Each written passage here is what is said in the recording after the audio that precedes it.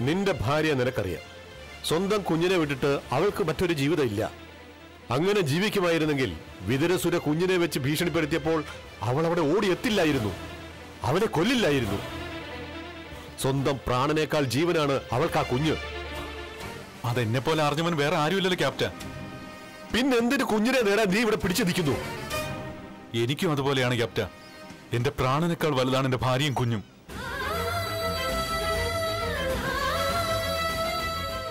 മാസങ്ങൾ മാത്രമേ രോഹിണിയുമായി ഒന്നിച്ചു ജീവിച്ചോളൂ.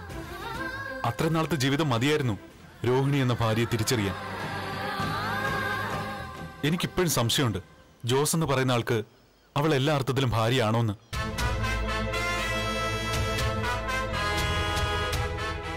അച്ഛനില്ലാത്ത പെൺകുട്ടികൾക്ക് വിവാഹമാകുമ്പോൾ ആ സ്ഥാനത്ത് നിർത്താൻ ഒരാളെ ചില സ്ത്രീകൾ കൂടെ കൂട്ടാറുണ്ട്. പേരിനൊരു ഭർത്താവ് അച്ഛൻ. അതിനപ്പുറം ഒരു ബന്ധവും ഇവർ തമ്മിൽ ഉണ്ടാവാറില്ല. ഇവിടെയും കാര്യങ്ങൾ അങ്ങനെയാണെങ്കിലോ?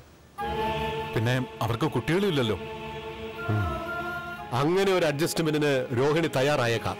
തനിക്കൊരു ഭർത്താവുണ്ടെന്നും കുഞ്ഞിനൊരു അച്ഛനുണ്ടെന്നും ആൾക്കാരെ അറിയിക്കാൻ ആ കുട്ടി ശ്രമിച്ചേക്കാം. എന്നാ ഈ ജോസ് എന്ന് പറയുന്നയാൾക്ക് അതിന്റെ ആവശ്യമുണ്ടോ? നമ്മൾ മനസ്സിലാക്കിയിടത്തോളം അയാൾ വിവാഹിതനല്ല.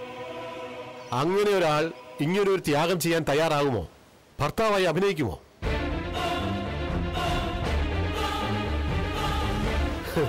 ഇതെല്ലാം നിന്റെ മനസ്സമാധാനത്തിനായി നീ കണ്ടെത്തുന്ന ആശ്വാസമാണ് എന്നാൽ സത്യം അതായിരിക്കണമെന്നില്ല. അതെ. എന്റെ ജീവനായിരുന്നവർ മറ്റൊരാൾക്ക് സ്വന്തമായെന്ന് വിശ്വസിക്കാൻ എനിക്ക് വയ്യ ക്യാപ്റ്റൻ. അങ്ങനെ ചിന്തിക്കാൻ എനിക്ക് വയ്യ. എനിക്ക് മനസ്സിലായി നിന്റെ പ്രശ്നങ്ങൾ. എന്നാൽ യാഥാർത്ഥ്യം വളച്ചൊടിക്കാൻ പറ്റില്ലല്ലോ ശരത്തെ. മോളെ കണ്ടപ്പോൾ മുതൽ നിന്റെ മനസ്സിടറി. അതെ. അതുകൊണ്ടാ അപകടമാണെന്ന് അറിഞ്ഞിട്ട് കാറിന് ഇറങ്ങി ഓടിയത്. നീ ജീവനോടെ ഉണ്ടെന്ന് അവരെ അറിയിക്കണമെന്ന് ആഗ്രഹമുണ്ടോ? അങ്ങനെ ചെയ്താൽ ഒരുപക്ഷെ സമ്മർദ്ദത്തിൽ അടിപ്പെടുന്നത് കിടന്ന് പിടയുന്നത് നീ ജീവനായി കരുതുന്ന രോഹിണി തന്നെയായിരിക്കും. രണ്ട് ഭർത്താക്കന്മാർക്കിടയിൽ കിടന്ന് പിടയുന്ന ഒരു സ്ത്രീയുടെ മാനസികാവസ്ഥ. അതിലുപരി തകർച്ചയിൽ രോഹിണിക്ക് കൂട്ടായ അവളുടെ ഇപ്പോഴത്തെ ഭർത്താവിന്റെ മനോനില. രണ്ടും കണക്കിലെടുത്തേ പറ്റൂ. നീ ജീവനോടെ ഉണ്ടെന്നറിഞ്ഞ ലച്ചുമോളും രോഹിണിയും നിന്റെ അരികിലേക്ക് വന്നെന്ന് വരാം. അവിടെ ഇപ്പോഴത്തെ നിന്റെ മാനസികാവസ്ഥയിലേക്ക് പോകുന്നത് ആ ജോസ് ആയിരിക്കും. അതല്ല സത്യങ്ങൾ അറിയുമ്പോൾ രോഹിണി ചെകുത്താനും കടലിനും നടുക്കായാൽ ആരെ തള്ളണം ആരെ കൊള്ളണം എന്ന മാനസികാവസ്ഥയിലായാൽ അവിടെ പിന്നെ അവളുടെ മുന്നിലുള്ളത് ഒരു ആത്മഹത്യയായിരിക്കും അല്ലെങ്കിൽ അവൾക്ക് സമനില തെറ്റിയെന്ന് വരാം. ഇതൊക്കെ മുന്നിൽ കണ്ടുകൊണ്ട് വേണം നീ വെളിച്ചത്തിലേക്ക് പോവാൻ.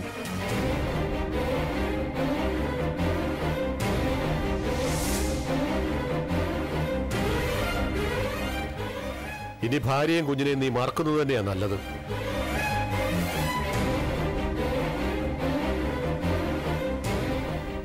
നിന്റെ മനസ്സ് കടൽ പോലെയാണ്. വാ. ഒരു ചൂട് ചായ കുടിക്കാം. എല്ലാം തൽക്കാലത്തേക്കൊന്ന് ശമിക്കട്ടെ.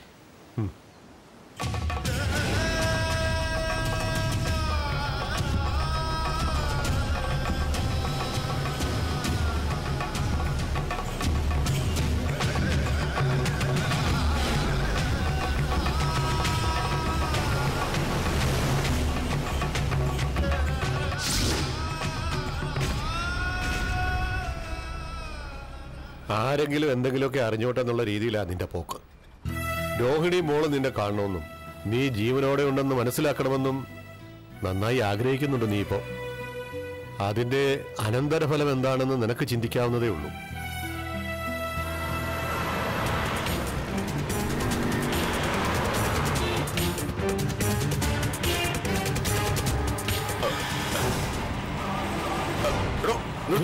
നിർത്ത് ക്യാപ്റ്റൻ പോലീസ്. കേൾക്കൂ, കേൾക്കൂ.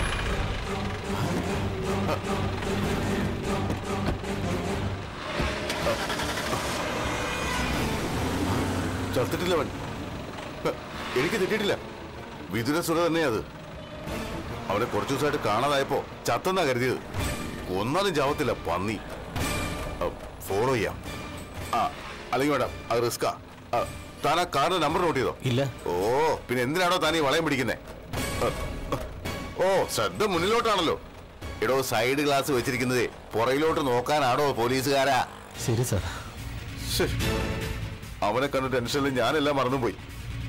എന്നാലും പട്ടാപ്പകൽ അവനിങ്ങനെ ഇറങ്ങി നടക്കാനുള്ള ധൈര്യമുണ്ടല്ലോ. വല്ലാത്തൊരു ജന്മം തന്നെ. പിടിക്കാനോ പേടിയാ. എന്നാലും അറിയിക്കേണ്ടവരെ അറിയിക്കാലോ. താ വണ്ടിയെടു.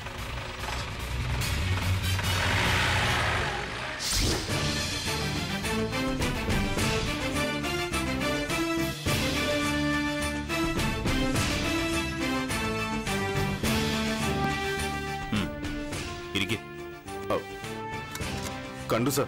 ഞാൻ കണ്ടു. ആരെയാടോ? അവനെ തന്നെ. ആ വിതുര സുരയെ. വേറൊരുത്തരുമായിട്ട് ചായക്കടയിൽ നിന്ന് ചായ കുടിക്കുമായിരുന്നു. എന്നിട്ട് താൻ അവനെ പൊക്കിയില്ലേ? അതിനു മുമ്പ് അവൻ കാറിൽ കയറി കടന്നു കളഞ്ഞു സർ. കണ്ടത് അവനെ തന്നെയാണോ? എനിക്ക് ആളെ തെറ്റിയില്ല സർ. ഏത് പാതിരാത്രിക്കും അവനെ കണ്ട തിരിച്ചറിയാൻ പറ്റും. കൂടെ കൂടെയുള്ളതാരാ സാധാരണ അവനോട് നടക്കുന്നത് ആ ദിനകരനാ. പക്ഷേ ഇതവനല്ല. അവൻ കൊല ചെയ്യപ്പെട്ടെന്നൊരു ശ്രുതിയുണ്ട്. ആ ശ്രുതി അപശ്രുതിയാണ് സർ. മുമ്പ് ആ ഗൗഡ് അവനെ കൊന്നെന്ന് പറഞ്ഞില്ലേ? എന്നിട്ട് എന്തായി അവനിനി ആരുടെങ്കിലും ആത്മാവാണോന്ന് എന്റെ സംശയം. അവനെ താൻ ഫോളോ ചെയ്തു പോയില്ലേ? ആ വണ്ടിയുടെ നമ്പർ നോട്ട് ചെയ്തില്ലേ? ഇല്ല സർ. ഓ. എന്നിട്ട് അത് എഴുന്നള്ളിക്കാൻ ഇങ്ങോട്ട് വന്നിരിക്കുക ഇനി ഭാര്യയെ പോയി സംശയിക്കണോ? എനിക്കിപ്പോ അവളെ സംശയമില്ല സർ. അവൾ പരിശുദ്ധയാ. ഹും. എങ്കിലും തന്നെ പോലെ ഒരു ഭാവിയല്ലേ കെട്ടിയിരിക്കുന്നത് എല്ലാ പോലീസ് സ്റ്റേഷനിലേക്കും മെസ്സേജ് പാസ് ചെയ്തില്ല? ആ, സർ. താൻ പറഞ്ഞതുകൊണ്ട് ഞാൻ അത്ര വിശ്വാസത്തിൽ എടുക്കുന്നില്ല. അമ്മയാണ് സത്യം. ഞാൻ അവിടെ കണ്ടാണ് സർ. ആ. സ്റ്റേഷനിൽ പോയി ഉറക്കം തൂങ്ങാതെ കാര്യമായ തെരച്ചിൽ നടത്ത്. സർ. ഇവനെയൊക്കെ പോലീസിലെടുത്തത് ആരാണോ എന്തോ. ലച്ചുമോൾ മാത്രമല്ല ആ ഓട്ടോ ഡ്രൈവർ ആളെ കണ്ടു. അതുകൊണ്ട് രോഹിണി പറയുന്നത് സത്യമാണോ എന്ന് വിശ്വസിക്കാൻ പ്രയാസമാണ് സാറേ. രോഹിണി കള്ളം പറയുന്ന കുട്ടിയല്ല. അതിൽ എനിക്ക് മറിച്ചൊരു അഭിപ്രായമില്ല. എങ്കിൽ ഈ ഒരു കാര്യത്തിൽ മാത്രം ആ അഭിപ്രായം മാറ്റി പറയേണ്ടി വരും. അവൻ മരിച്ചെങ്കിൽ അവന്റെ ബോഡി അവിടെ കാണണ്ടേ? അവൻ മരിച്ചില്ലെങ്കിൽ രോഹിണി മോളും രക്ഷപ്പെടുമായിരുന്നു? അരിവാൾ കൊണ്ട് ശരത്തിനെ വെട്ടിക്കാണും. എന്നിട്ട് മോളെയും കൊണ്ട് രോഹിണി മടങ്ങിക്കാണും. മരിച്ചെന്ന വിശ്വാസത്തോടെ. എന്നാ ആ സമയത്ത് രഹണിയും ലീന ടീച്ചറും കാവേരി അവിടെ എത്തിയിരുന്നു. അവരെ പോലെ രോഹിണി ജനം കാണിച്ചില്ല. അവരും കൂടി തർപ്പിച്ച് പറഞ്ഞിരുന്നെങ്കിൽ മരിച്ചെന്ന് വിശ്വസിക്കുകയായിരുന്നു മോളും ഓട്ടോ ഡ്രൈവറും മാത്രമല്ലല്ലോ. ആ ബീരാനും അവനെ കണ്ടെന്നല്ലേ പറയുന്നത്. കണ്ടവരിപ്പോ ഒരുപാടുണ്ട്. എസ് ഐ ബലരാമനും അവനെ കണ്ടെന്ന് പറയുന്നു. പിന്നെ അയാളും ബീരാനും ഒക്കെ പറയുന്നത് അത്ര മുഖവിലേക്ക് എടുക്കണ്ട. എന്നാൽ ലച്ചുമോളും ഓട്ടോ ഡ്രൈവറും പറഞ്ഞത് കണക്കിലെടുക്കുകയും വേണം. അവനല്ലെങ്കിൽ അവനെപ്പോലൊരുത്തൻ ഈ പരിസരത്ത് എവിടെയുണ്ട്? മുമ്പ് അവൻ തീർന്നെന്ന് ഗൗഡ സാർ പറഞ്ഞപ്പോഴും നമ്മൾ എല്ലാവരും വിശ്വസിച്ചത് അങ്ങനെ തന്നെയാ. ഒരിക്കലും മരിക്കാത്ത മനുഷ്യൻ ഉണ്ടാവോ സാറേ? പോലീസ് തെരച്ചിൽ ഊർജിതമാക്കിയിട്ടുണ്ട്. അവൻ ജീവനോടുണ്ടെങ്കിൽ പിടിക്കപ്പെടും ഉടനെ. ഇനിയിപ്പോ മോൾ ഏതായാലും ഞാൻ തന്നെ സ്കൂളിൽ കൊണ്ടുപോയി വിടുകയും വിളിക്കുകയൊക്കെ ചെയ്യാന്ന് വിചാരിക്കുക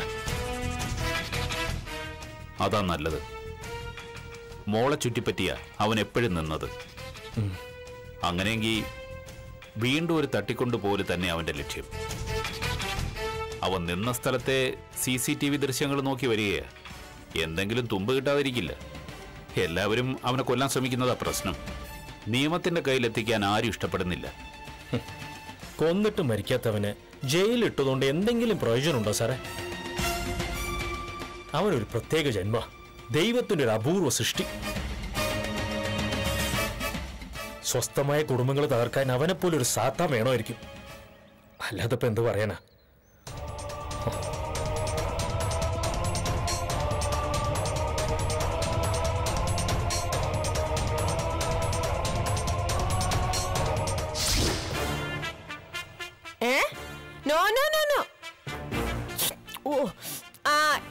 അണ്ടർസ്റ്റാൻഡ് മീ ഫോൺ വെച്ചിട്ട് പോടാന്ന് ഇപ്പൊ എങ്ങനെ ഇംഗ്ലീഷ് പറയുന്നത്?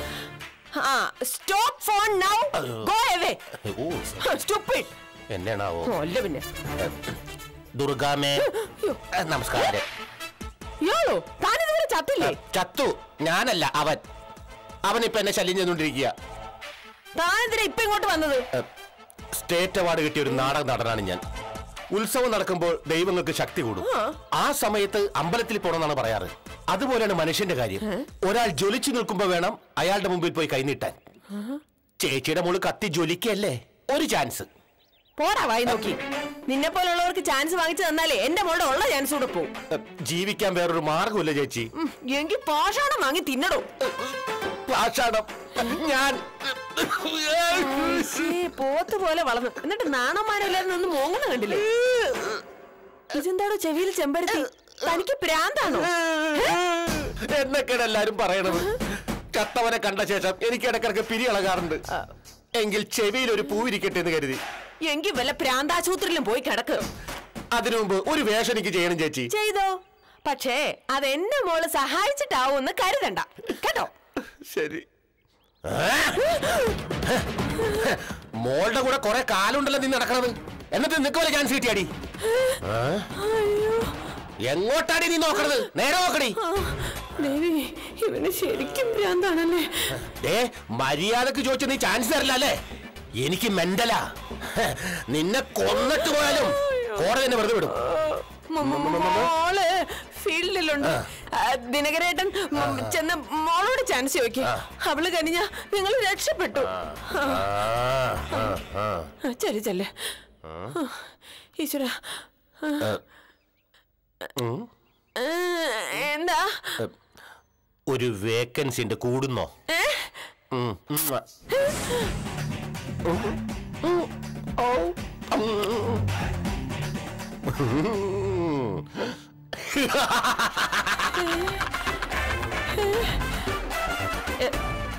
ആരും കണ്ടില്ലെന്ന് തോന്നുന്നു. ആരുമില്ലേ ആ നമസ്കാരം. ശൂലമായിട്ട് എങ്ങോട്ട് പോകുന്നു? ആ. ചാനലിൽ നിന്ന് വിളിച്ചിരുന്നു ദശാവതാരമോ ഷൂട്ട് ചെയ്ത് കൊടുക്കാനാ പറഞ്ഞിരിക്കുന്നത്. നമസ്കാരം. ഈ ഓർമ്മയുണ്ടോ ഈ മുഖം? മുമ്പൊരിക്കൽ ഞാൻ ചാൻസ് തേടി വന്നായിരുന്നു. നോക്കുന്നില്ല. ഒരുപാട് ആൾക്കാർ വന്നു പോകുന്നതല്ലേ? അതുകൊണ്ടായിരിക്കും. അതെ പതിനെട്ട് കെട്ടിയ ഒരു ചെറുപ്പക്കാരൻ. അവനെ കൊല്ലുന്നു. പിന്നെ അവൻ പ്രേതമായിട്ട് വരുന്നു. ഈ പതിനെട്ട് സ്ത്രീകളുടെ പിന്നാലെ അവൻ നടക്കുന്നു. പതിനെട്ട് നായികമാർ. ആയിരത്തി എണ്ണൂറ് എപ്പിസോഡ്. കഥ ഞാൻ പറഞ്ഞുതരാം. പ്രതിഫലമൊന്നും വേണ്ട. ഈ പതിനെട്ട് കെട്ടിയവന്റെ കൂട്ടുകാരനായിട്ട് എനിക്കൊരു റോൾ തന്നാ മതി. അപ്പൊ ഓക്കെ അല്ലേ? ഫിക്സ് നീ നീയൊക്കെ എന്താണ് ചിരിക്കണത്? നിനക്കൊക്കെ പ്രാന്തരാപ്പ ഇത്രയും നല്ലൊരു കഥ പറഞ്ഞിട്ട് അവനെന്ത് ചിരിക്കണ്?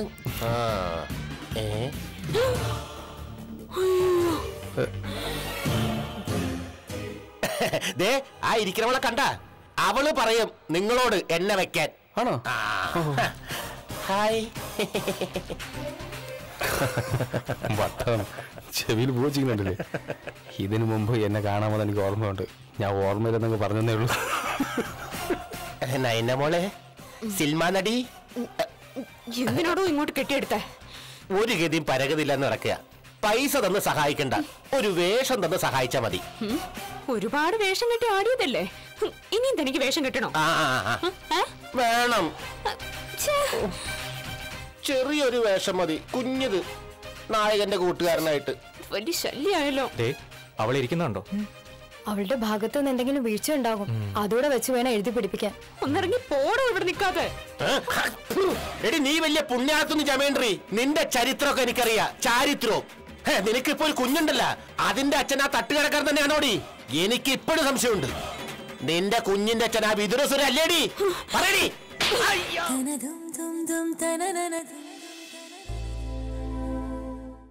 നിന്റെ കുഞ്ഞിന്റെ അച്ഛൻ ആ വിദുരസുര അല്ലേടി പറയടി. അയ്യോ. താൻ പറഞ്ഞത്? എന്താ? എന്താ മോളെ? ഇവൻ ഇവിടെ അനാവശ്യം പറയാ. എടി എന്തെങ്കിലും പറഞ്ഞിട്ട് പോട്ടെ അവന് തലയ്ക്ക് പ്രാന്താ. താൻ തന്റെ പാട് നോക്കി പോടോ എടേ ചത്തവന്റെ പ്രേതം എന്നെ മാത്രമല്ല നിങ്ങളെ രണ്ടുപേരും ഒരു ദിവസം തേടി വരും. എന്നിട്ട് ഇങ്ങനെ കഴുത്തി പിടിച്ച്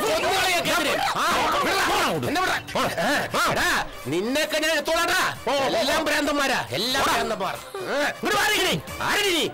ചേട്ടാ ഒന്ന് നിൽക്കണേ ഇവിടെ ഇരിക്കുക കഴുത്തിന് നന്നായിട്ട് പിടിച്ചോ മോളെ. പിടിച്ച് നീക്കി കളഞ്ഞു അമ്മ. ദൈവം ഉണ്ട് കേട്ടോ സാറേ. സാർ വാ നമുക്ക് പോവാ.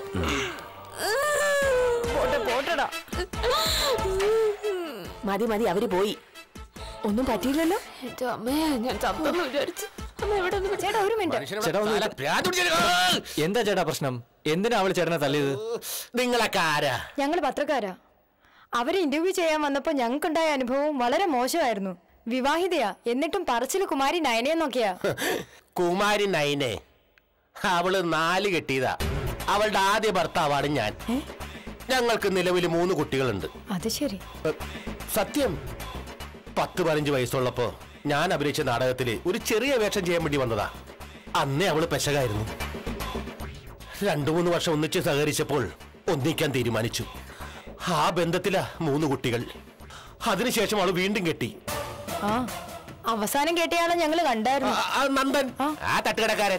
അവനെ മുടരെ കളയും ആ ബന്ധത്തിലുണ്ടൊരു പെൺകുട്ടി. ഓ. സീരിയൽ കഴിഞ്ഞ കല്യാണം കഴിക്കുക കുട്ടികൾ ഉണ്ടാക്കുക ബന്ധമൊഴിയുക അതാണ് ഹോബി. മൂന്ന് കുട്ടികളുണ്ടായി പോയില്ലേ? ആ കുഞ്ഞുങ്ങൾക്കുള്ള അമ്മയെ കാണണമെന്ന് ആഗ്രഹം. അത് പറയാൻ വന്നപ്പോഴാ അവൾ എന്റെ കരണം പൊത്തി അടിച്ചത്. കേട്ടല്ലോ? എന്നിട്ട് കുമാരി നയന എന്ന പേര്. സീരിയലിന് സീരിയലിൽ മാത്രമല്ല ജീവിതത്തിൽ അവൾ നന്നായിട്ട് വേഷം കെട്ടിയിട്ടുണ്ട്. ആ ഞങ്ങൾ ഇന്റർവ്യൂ ചെയ്യാൻ ചെന്നപ്പോഴേ അതിനും പണം ചോദിച്ചവളാ. ചോദിക്കും. കാശ് കണ്ടു കഴിഞ്ഞാൽ അവൾ അവിടെ കമന്ന് വീഴും. പെട്ടുപോയി. ഇനി പറഞ്ഞിട്ട് കാര്യമില്ല. അവളുടെ തലവര കൊള്ളായിരുന്നു. അതുകൊണ്ട് അവൾ സീരിയലിൽ കയറി ഓക്കെ ഇതുപോലെ തന്നെ ഞങ്ങൾ എഴുതാൻ ചേട്ടാ. മതി. അത് മതി.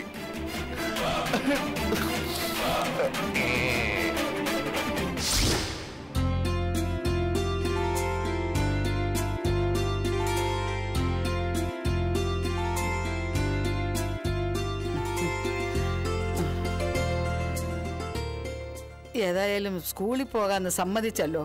നന്നായി.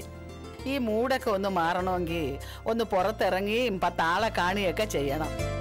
എനിക്ക് സ്കൂളിലേക്ക് പോകാനുള്ള മാനസികാവസ്ഥയൊന്നുമില്ല.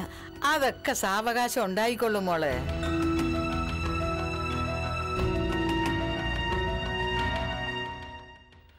ആ എസ് ഐ ബലരാമനും ഏതോ ചായക്കടയിൽ വെച്ച് കണ്ടെന്ന് വിതുരസുരയെ അപ്പോ ഞാൻ പറഞ്ഞു സാറിന് വിശ്വാസമായില്ലേ? ഇനി കാണുന്നത് അവനെ പോലെ വേറെ ആരെങ്കിലും ആയിരിക്കും. അല്ലാതെ അവനെ ആയിരിക്കില്ല. അതെനിക്ക് ഉറപ്പാ. ഇതൊരു വലിയ തലവേദനയായല്ലോ.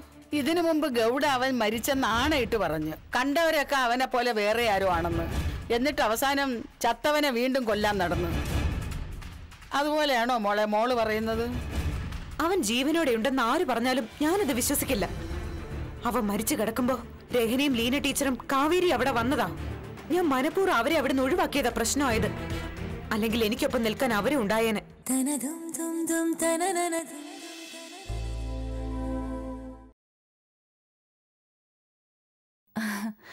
ടീച്ചർ റെഡിയായോ?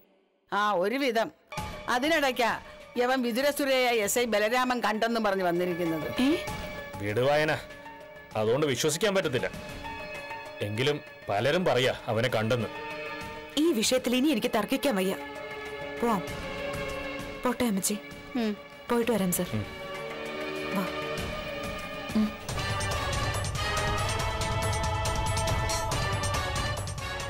പാവം.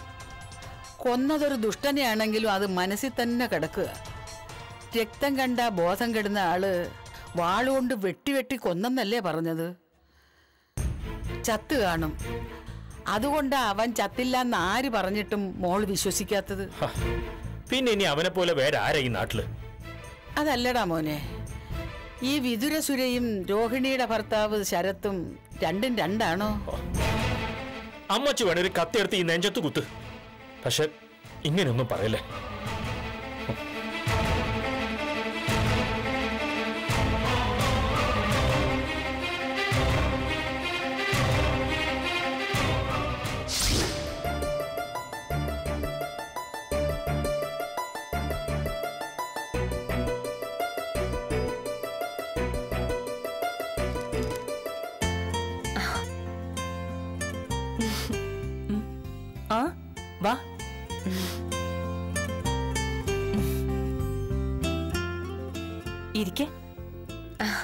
നിങ്ങൾ സംസാരിക്കേ.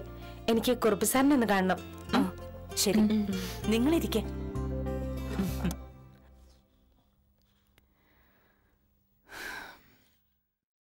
ഈ സ്കൂളിന്റെ പ്രിൻസിപ്പളായിട്ടാണ് ഞാൻ രോഹിണിയെ നിയമിക്കുന്നത്. മുഖ്യ അധ്യാപികയായി ലീനയും. ശരിക്കും പറഞ്ഞാൽ നിങ്ങളെ ഏൽപ്പിക്കുന്നു എന്റെ സ്കൂൾ. രഹനയെ ഞാൻ കമ്പനി ഏൽപ്പിച്ചു. ഇപ്പൊ എനിക്ക് ഒരു തലവേദനയും ഇല്ല. ആ ഭാഗത്തേക്ക് നോക്കേണ്ട കാര്യം പോലും ഇല്ല. അത്രയ്ക്ക് പെർഫെക്റ്റ് ആയിട്ടാണ് രഹന എല്ലാം ചെയ്യുന്നത്. ഇവിടെയും അങ്ങനെ തന്നെ ആയിരിക്കും. ഇനി സ്കൂളിന്റെ കാര്യമൊന്നും എനിക്ക് നോക്കേണ്ടി വരില്ല.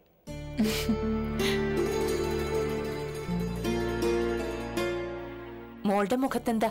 ഒരു സന്തോഷമില്ലാത്ത? അത് പിന്നെ കുറച്ചു ദിവസം സ്കൂളും കുട്ടികളും ഒക്കെ ആയിട്ട് നിൽക്കുമ്പോൾ അത് താനേ മാറിക്കോളും അമ്മേ. ശരിക്കും മോൾ അവൻ മരിച്ചെന്ന് ഉറപ്പാക്കിയിട്ടാണോ അവിടുന്ന് പോന്നത്? അല്ല അവനെ കണ്ടെന്ന് ഇപ്പോഴും പലരും പറയുന്നുണ്ട്.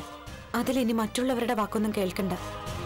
ഒരു വെട്ടല്ല അരിശം തീരുന്നത് വരെയാ ഞാൻ അവന്റെ കഴുത്തിൽ വെട്ടിയത്. അങ്ങനെ വെട്ടുകൊണ്ട് ആരും ജീവിക്കില്ല. ഇനി ഇത്തിരി ശ്വാസം ഉണ്ടെങ്കിൽ പോലും ഹോസ്പിറ്റലിൽ എത്തുന്നതിന് മുൻപേ മരിക്കും. ബീരാൻ പറഞ്ഞതൊന്നും ഞാൻ കാര്യമാക്കുന്നില്ല. എസ് ഐ ബലരാമൻ ഉൾപ്പെടെ പലരും പറഞ്ഞു കഴിഞ്ഞു അവനെ കണ്ടെന്ന്. അതാണ് എനിക്ക് മനസ്സിലാകാത്തത്.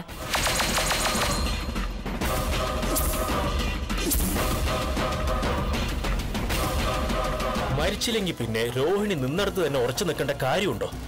അയാൾ അങ്ങനെയൊന്നും ഉണ്ടാക്കി പറയുന്ന കൂട്ടത്തിലല്ലല്ലോ. നമുക്കൊക്കെ പറ്റിയ പിഴവ് തിരുത്തി എന്നാണ് രോഹിണി പറയുന്നത്. അന്ന് ഒപ്പിച്ച പണിയായിരിക്കും. ഓ എന്തായാലും എന്റെ മാനം പോയി.